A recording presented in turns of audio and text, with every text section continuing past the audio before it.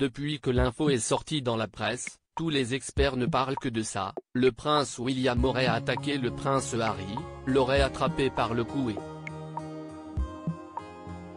l'aurait violemment projeté sur le sol furieux de voir son frère renier la couronne et la famille pour une femme, Meghan Markle, qu'il trouvait mal polie et compliquée, le futur roi serait devenu violent et aurait, lors de cette scène, cassé l'un des colliers du prince Harry.